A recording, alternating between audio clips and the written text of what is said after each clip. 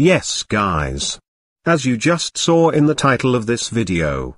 And I swear it's not clickbait. This video will accurately guess your age. And not only that. This will also guess the number you were thinking. Yeah? Just follow my steps correctly. Think of a number from 1 to 9. Okay, now multiply that number by 2, and if you are using a calculator press equal. Now, add 5 to the answer.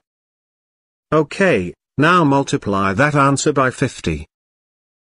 Now, listen attentively. If you already had your birthday in this 2021, add 1771 to your answer. But if you still don't, add only 1770 to your answer. Okay. Now just subtract your year of birth from your final answer. Ready? At this point, your result must be of three digits, right? Okay. Now check this.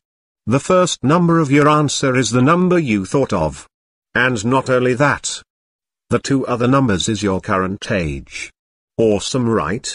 Don't forget to like and subscribe Pogga family. And share this video to others, so they can be as impressed as you.